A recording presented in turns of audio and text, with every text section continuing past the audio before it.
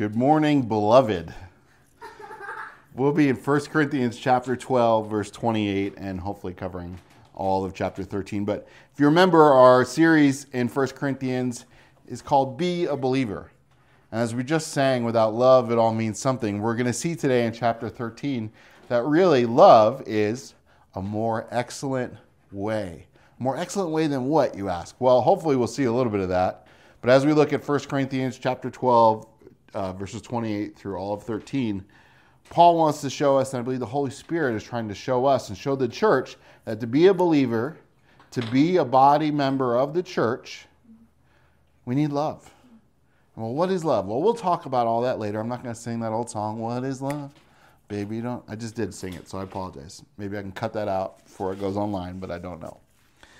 1 Corinthians, the refresher, is written by Paul to the church in Corinth. It was the Isthmus of Greece, this little connecting between two big parts of Greece. It was a port city, a major city. And there was a saying, like we said again last week, to live like a Corinthian was the wild lifestyle.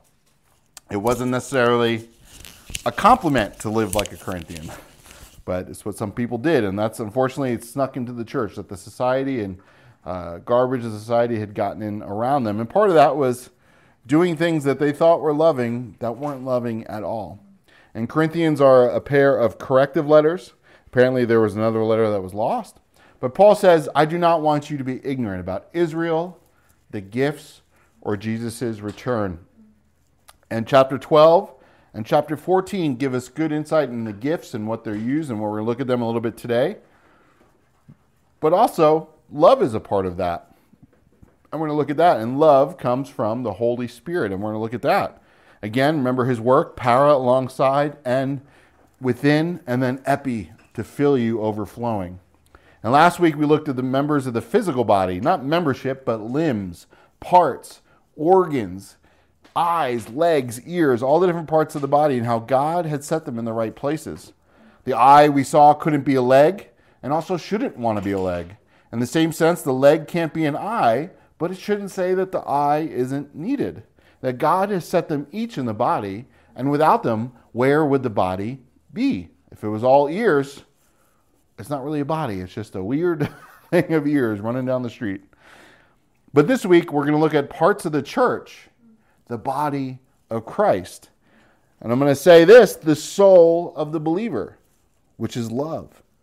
It's not a motto, it's not a creed, it's not an action. I'm sorry, it's an action and attitude towards God and one another. That's what love is. It's not a motto, it's not a creed, it's an action and attitude toward God and one another. In other words, it is both it is both enabling and is itself supernatural service. That real love is both a thing and also an action. Next week or next time we'll look at certain gifts, their power and their proper usage in the church. But this morning, let's get right into it and let's pray. God, this morning we ask that as we come into your word, God, you would show us your word, that you would speak things to us through me, through your word, but things that maybe I didn't even write down or think of, but things that are really, hopefully, none of the things I wrote down are, are my thinking, but are from you, God. And we pray that your word would flow forth and reach the nations and bless your people this morning. In Jesus' name, we love you, God, because you first loved us. In Jesus' name, amen. So let's look at the last three verses of chapter 12 in 1 Corinthians. It says in verse 28 And God has appointed these in the church first apostles, second prophets, third teachers, after that miracles, then gifts of healings, helps, administrations, varieties of tongues. Are all apostles, Paul says? Are all prophets? Are all teachers? Are all workers of miracles? Do all have the gift of te- uh, healings? Do all speak in tongues? Do all interpret? He closes out. He says, But earnestly desire the best gifts, and yet I show you a more excellent way. There's a bit to unpack there, and we're going to spend a little bit of time there. But the first point I want to bring up is that he says, has appointed. In verse 28, and God has appointed. And you know, that's the same word that he used a couple verses earlier when he says, has set the members, has set the body parts in order, has appointed them to be there. That just as God designed each body part, organ and limb, like we looked at last week, and put them in their proper place, right? Your arms are where the arms go, the legs are where the legs go. And they also function the way they should. Although you can walk on your hands, it's easier to walk on your feet. That just as he did that with the body part, so he's done it with each believer, with the gifts that he's given to each believer. Just as an arm is gifted with throwing and a leg is gifted with kicking, so you as a believer, so you, I as a believer, God has given each of us gifts, I believe more than one, sometimes many. Sometimes we can seek them that fit us and fit who He made us to be. If He made you to be a spiritual leg, He's going to give you the gift of spiritual kicking, so to speak. And why? Because He's put us to be in His body. He's ordained us, He set us, He set us apart to be a part of His body on earth until He returns, the church. Just as your leg will hopefully be with you for the rest of your life, God wants you to be a part of the church for the rest of your life. So, what are these parts of the church? Well, Paul outlines them, and this is the first list of several we'll look at today. I'm going to read through them and then I'll go back and discuss each of them. So, first, and he gives them in this order on purpose these parts of the church, these body members of the church apostles, that's lowercase a, apostles, prophets, all lowercase letters here, these aren't like proper nouns, teachers. And then he says, after that, miracles, number four. Number five, gifts of healing. Number six, helps. Number seven, administrations. The word is actually governments. Uh, and number eight, varieties of tongues, and by inference, their interpretation. So we'll go back and look at these, but why are they in this order? Well, I believe that the best are at the top of the list and the worst, so to speak, are at the bottom of the list, but they're really not better or worse than, the, than each other. I think what Paul and the Holy Spirit is trying to show us here is that they are more useful or more serviceable or more advantageous or perhaps even could be said more excellent in some way for eternal service. That the higher up on the list they are, the more benefit they have to the body at large, to the kingdom of heaven as it advances. And towards the bottom, so to speak, of the list, perhaps it's more beneficial to the local body or even just to the individual, as we'll see in chapter 14 with tongues. That they're all necessary, they're all important, but there's an authority of hierarchy there. There's an impact of eternity based on these better or more excellent gifts. So, with that being said, let's look at them and remember that if you have number eight and you're not number one, in God's economy, the, the, the last shall be first and the first shall be last. It doesn't mean that you're lesser of a believer. It doesn't mean that you're more holy of a believer if you have one or the other. It just means that this is where God has set you in his body on earth. And granted, there are many people out there might only have tongues as a gift, but may even, even have more reward in heaven than some those who might be considered apostles. So please don't look at this with earthly eyes. Well, I'm only number eight. I want to be number one. And yet we'll see that there should be a healthy desire for these as we go on. So without further blabbing of my tongue, Let's look at apostles. So, again, I said this is lowercase a because an apostle is a delegate, a messenger, one who's sent forth with orders, an eminent Christian teacher like Barnabas, Timothy, and Silvanus. I believe it's also someone who's a church planner, a denomination leadership, a large figure like someone like Jack Hibbs, Franklin Graham, or John Piper, where God has raised them up as pillars, as apostles, as sent out ones, as messengers of Him for the church. Number one, to lead the church as a whole on earth. Not that they're on Jesus' throne and we kiss their ring, but that they're apostles. They are sent out ones. Now, there's an uppercase apostle, right? An uppercase apostle would be one like the 12, like Paul, like Matthew, like these guys who were a member of the original crew of Jesus that saw him firsthand and gave firsthand account of them.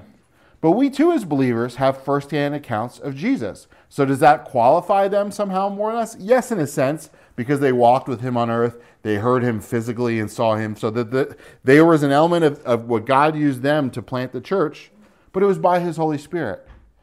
We're his disciples too. We follow him too on earth. We look to him too. We hear his voice as well, although it's not in the physical realm. So apostles aren't just these 12 guys. They are important and they should be listened to, and that's why their words are in scripture and we and we follow them because that's what God has ordained. But that doesn't mean that there's not a lowercase apostle, one who has sent out. In fact, one thing you might notice is missing from this list is a missionary. Where's the gift of missions? Where's the gift of being a missionary? It's not listed here as we would say it. In fact, Jesus says, to everybody, go and make disciples of all nations, teaching them and baptizing them in my name, right? To do the things that I've commanded. So we are all called to do missions. In fact, Paul and Barnabas and Timothy and the others went on missionary journeys. But is Paul say my gift is that of being a missionary?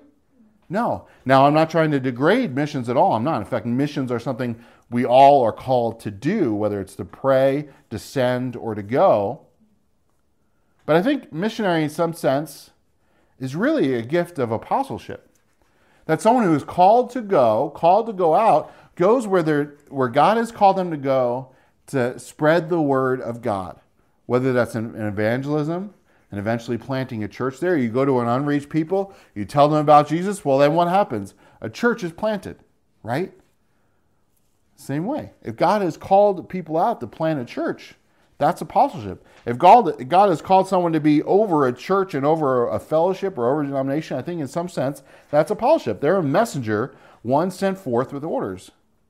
But are we not in some sense? Now, I'm not saying we're all apostles, because that's what Paul says, right? Are all? No. But in some sense, we are all called to do the apostle thing.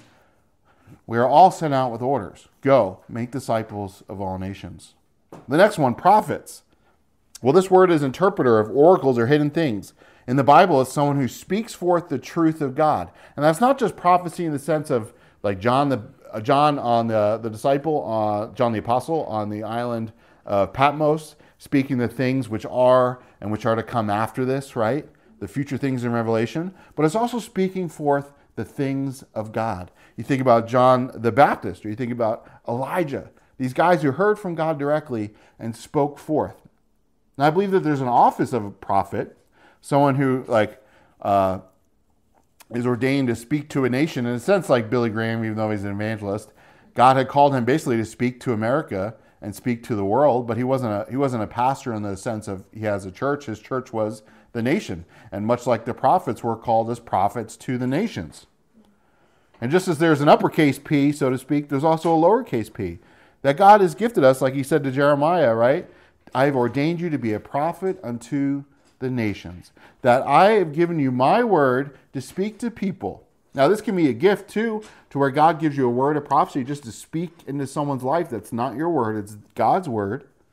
But it's speaking forth the truth of God simply. That when we speak forth it and speak forth with the, the authority that God says that is wrong, that is right, because God says it, in a sense, that's prophecy. Some of us are called to do that. Now, you can be an apostle and a prophet. You can be an apostle and a teacher. You can be a prophet and a teacher. You can have tongues and be a teacher. So that there's all these things that go on. It could be an office you have to where this is your life's calling, or it could be something that you find yourself also doing alongside another gift, right? Just as you might be really good at hockey, you might also be really good at drawing. But there's different gifts that God has given us, right? There's different callings and different measures to which these gifts will be exercised in our lives. Let's go on. Teachers. And remember this because we're going to see that word again later. This is one uh, uh, who teaches concerning the things of God and the duties of man. Teaches about the Bible, what the Bible says, but then also our ability, our, our role to fulfill them. Like in the church, the pastor teacher. The word pastor is shepherd or overseer, one who guides, helps guide people's lives, not in the sense where they control someone's lives, but they say, this is what the Word of God says, and this is how it applies to our body. In a sense, there's also a little prophecy there as well, speaking into the body about what the things of God are. But also saying, this is how we need to apply them. This is what God says. This is how we respond to that. Individually, personally, come to, you know, someone comes to a pastor for guidance and advice. The pastor should say, well, what is the Lord speaking to you? What is, well, this is what the Bible says do not steal, so don't steal. That's teaching the Word of God, right? And after that, it says, after that, these other one comes. So I think It might just be a thing of language, but also my gut says, maybe even the Spirit of God says, that these are the roles that lead the church apostles, prophets, and teachers. These are the ones that guide the church, that uh, not enshrine, so to speak, the Word of God, but make sure that doctrine is sound, that guard the Word of God and say, This is the Word of God. We are not going to change it. Instead, we need to be changed by it, and we need to bring it to the world that the world might be changed by it. And so after that come these other gifts that are great, are important, are part of the body just as much as the others. But again, it would be like having, remember, who's the head of the body? Jesus, right? And then it's apostles. Then, you know, number zero, Jesus is above all this, right? Everything comes from God above. But miracles, gifts of healings, help, administration, variety of tongues, these are not the things that should lead the church.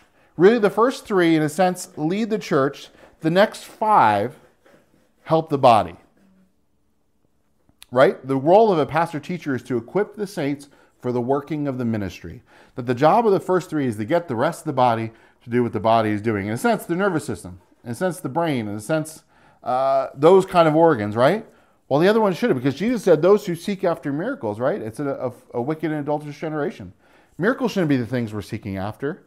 Look at you will see on the news sometimes that there and down in South America that there's an idol of Mary, and they won't call it an idol, but it's an idol of Mary, and it's weeping blood or it's crying, and people will flock all over and wow and pray to it.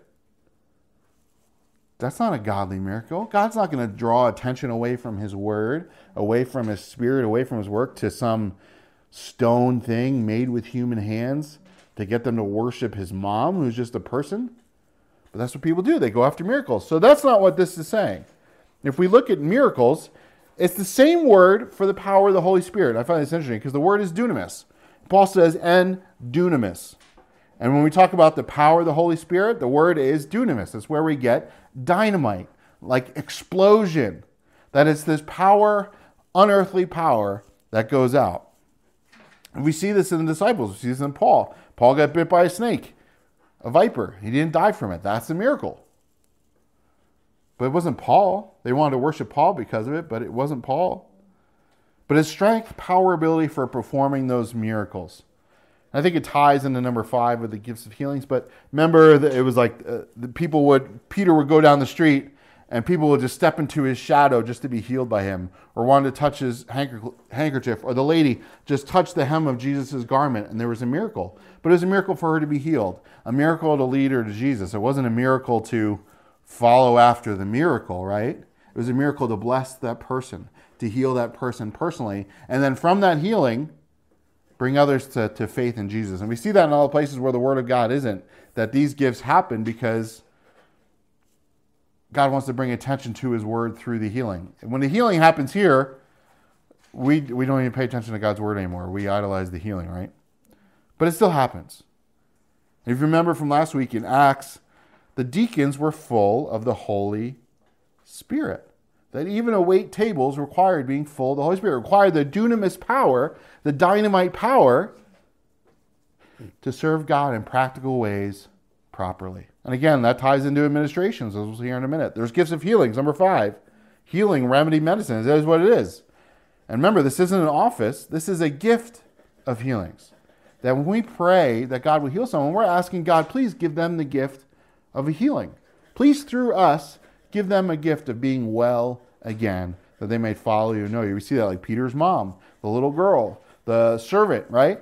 They're all healed, gifts of healings. It wasn't Jesus went out went around and healed, but his ministry wasn't primarily one of come like a doctor, right? He would heal people and people would come to a healing, but a lot of times it was so that he could show them that he had the power to forgive sins, the power to heal their spirit, that healing their body, their body would ultimately die again. Even poor Lazarus, who was rose from the dead, he would die again. So healings is great, and we should all desire it, but a lot of times when we desire it, we want it for ourselves. Look at me. I have a gift of healing. Pay me, and I'll come to your church, and we'll have a service, and I'll heal everybody. That's not how it works. It's not like teaching, where you can invite a teacher to come to the church, and he'll teach everybody by the Spirit. Does, healing doesn't work that way. Healing is handed out by God when He chooses. Helps. It really means to aid, to help, to be an assistant. And the best type of assistants are ones that don't have to be asked. They see and they do. And I believe this is the best ministry to have around you, but also the best ministry to be when you're around others. When someone else is doing the work of God, to come alongside them and just start doing. Maybe ask them once, what do you need done? But don't ask them all the time. Just go and do what they need done so they don't need to think about it. Just like the deacons and the apostles. The deacons waited at the table so the apostles could pay attention to the word of God. Remember, they held Moses' hands up. But assistants, a member of the church back in New York, in the office, people would help. People would help fold chairs. People would help others when they needed to move. People would help go visit others. That people are always helping each other in a healthy body. It wasn't like the hand saying, "No shoe, I'm not going to help you get your your no foot, I'm not going to help you get your shoe on." The hands are going to go and help. The hands are going to make sure that the shoe is tied, that the foot's not tripping over itself, that sometimes the toenail has to get clipped. Otherwise, the toe overgrows and hurts the whole body. That's what helps is. Administration or governments. It's not the government down in DC, but it's the act of governing. Notice that this is number seven on the list. This isn't number one on the list. This isn't the one that guides the church, that leads the church, but it helps. But maybe it's a board. Maybe it's a group of elders. But I believe it's also organization. People who, so to speak, run the business, quote unquote, of the ministry.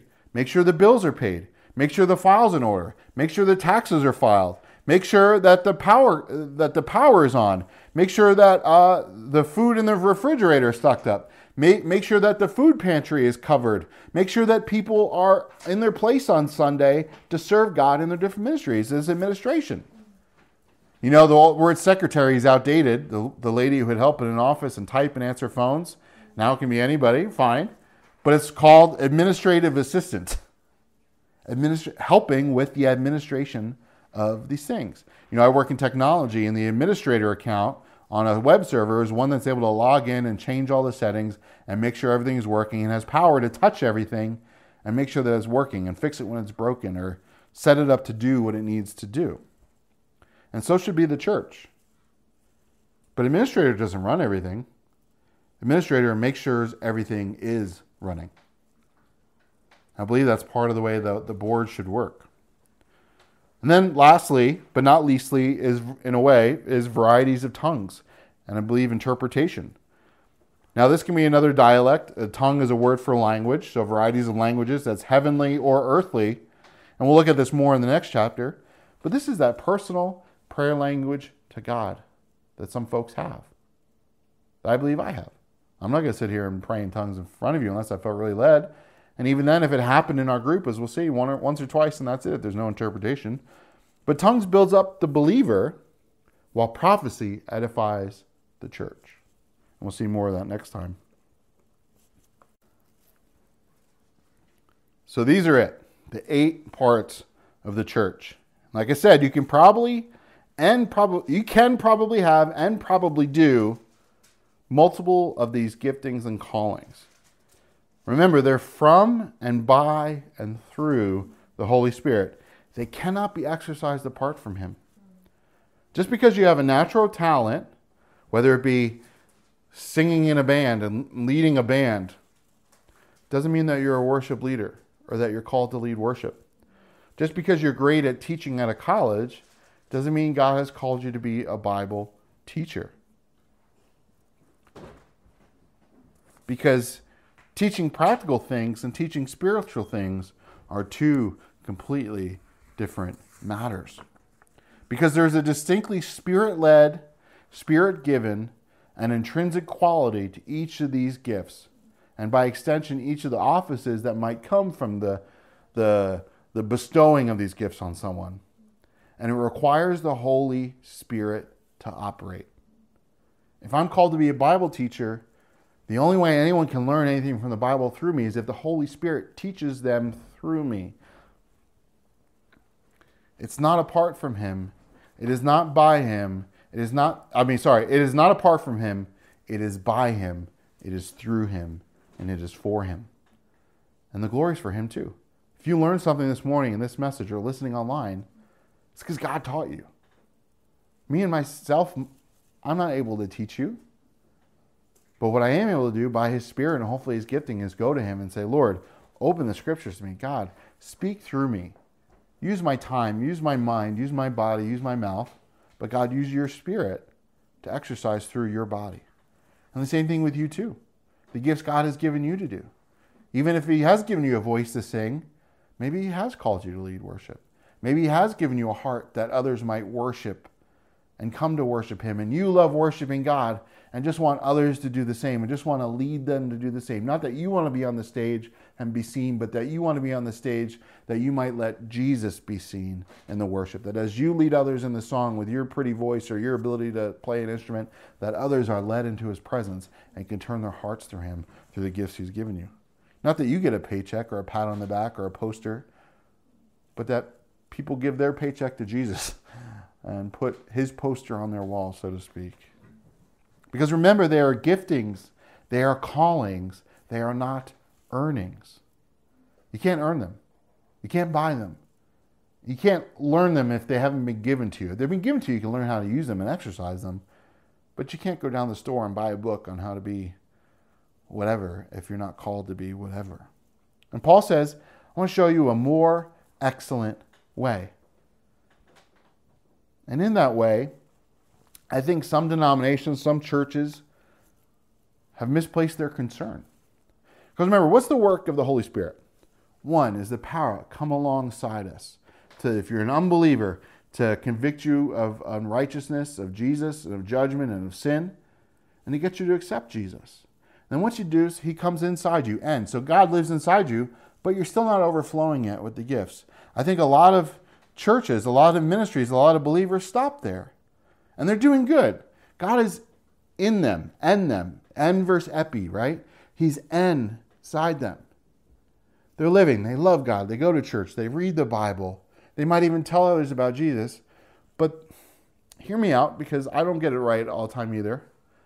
But my point is, is not about getting it right, but about the focus of their life. Their life is not focused on what God is calling them to do to advance His kingdom. Now, there's nothing wrong with going to work and having a day job, right? I go to work and have a day job, but that's not the calling of my life. And maybe for some it is that they might know that God has called them to start a business or to be in business and to make money to then send missionaries out, right? And that's what they feel called to do. That's not what I'm talking about.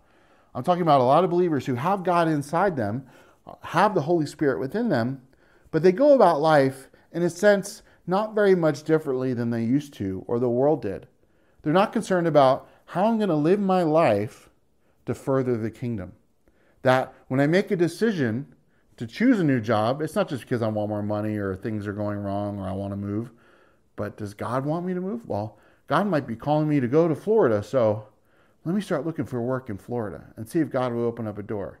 Or I'm going to college because I want to be whatever. But does God want you to go to college? Does God called you to do that thing that you need to go to college for? Right? That that's the difference. Is living a life following Jesus to advance his kingdom. And I believe that comes by epi, by the filling of the Holy Spirit. That God, please fill me. God, change the direction of my life because I know in the end of the day it's all vanity without you. And I don't want to end up in heaven and go, wow, I wasted my life on being a stockbroker or whatever it is. And that's the epi life, to live for God's kingdom. And everything else falls under that calling.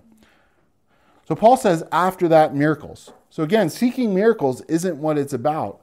It's that solid leadership, that solid instruction is what the church is built on. Like, like Jesus said to Peter, the gospel is what I'm going to build my church upon, and the gates of hell cannot prevail against it. So are all one part? Where would the body be? And the same here. The body can't function if we're all the same part. And as the church grows, as the pastor and the leadership are spreading the word of God through apostleship, prophecy, and teaching, to equip the saints for the work in the ministry. Some are going to be raised up as other pastors, teachers, and apostles.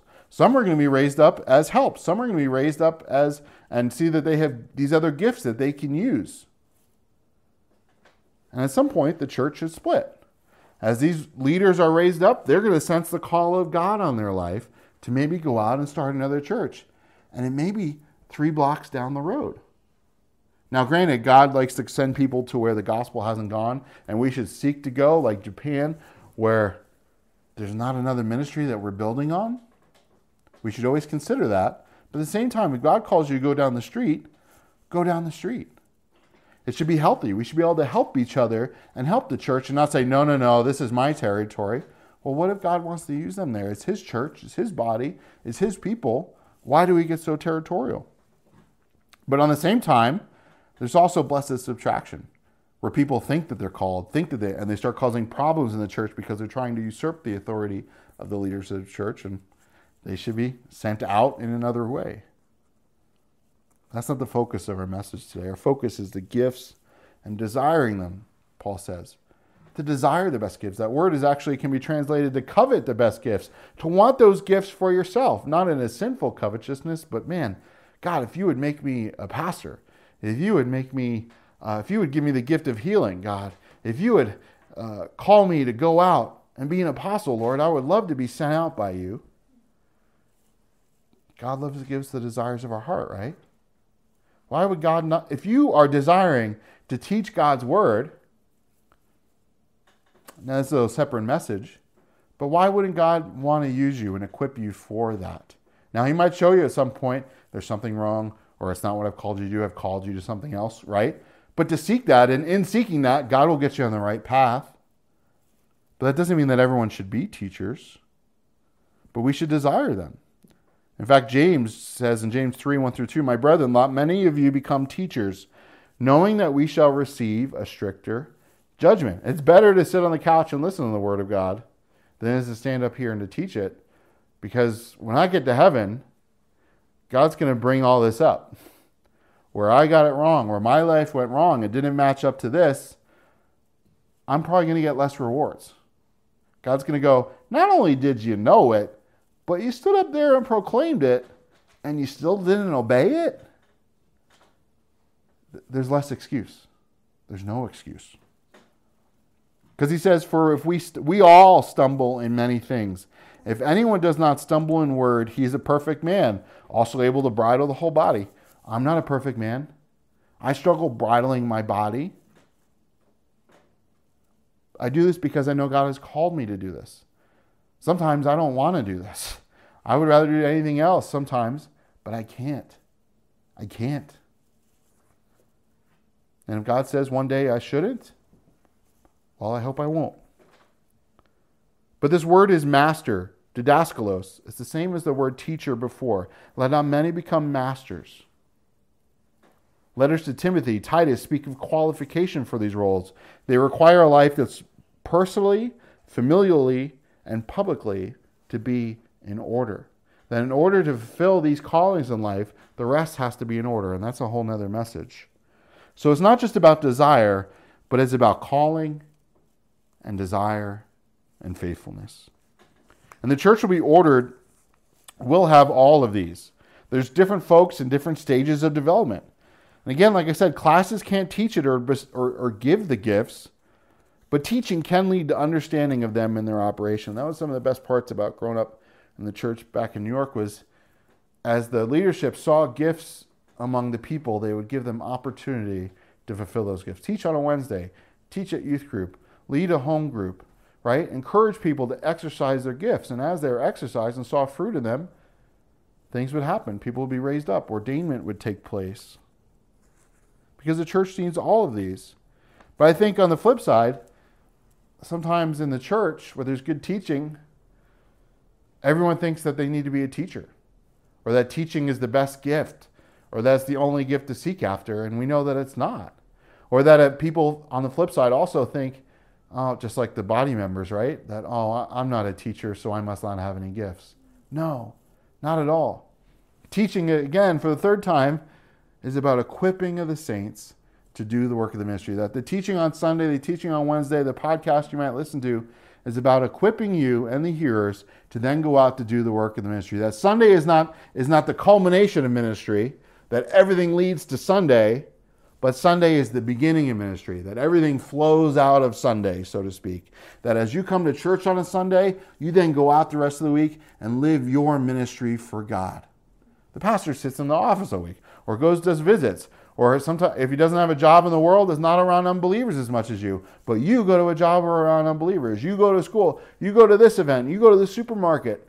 Your ministry is out there. Your ministry is larger in a sense greater than the ministry in a sense that's on the sunday morning. And again trying to compare with earthly eyes it's hard to make those comparisons because spiritual eyes it's not viewed that way. But i think in the same way that jesus says you will go and do greater things than me. In the same sense jesus was in a sense that church service for the disciples, and the disciples were going to go back to their towns and their friends and their families and minister to them there.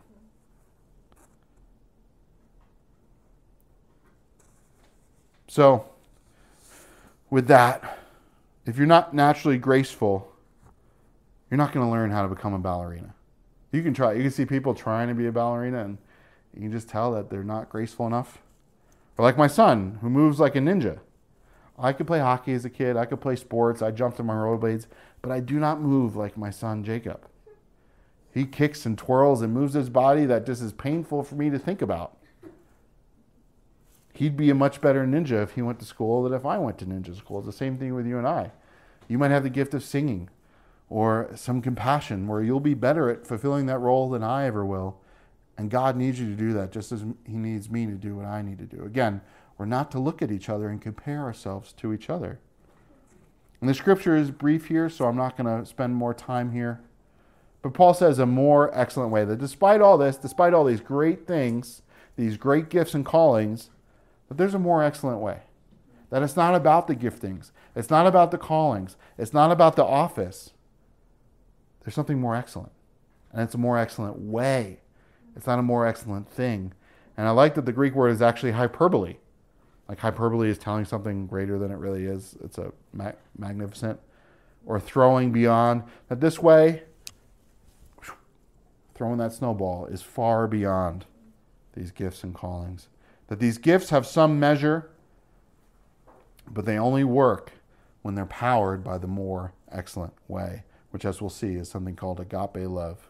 There is a vineyard of the Lord. There is a vineyard soul. With all our troubles left behind, and all we drink first light until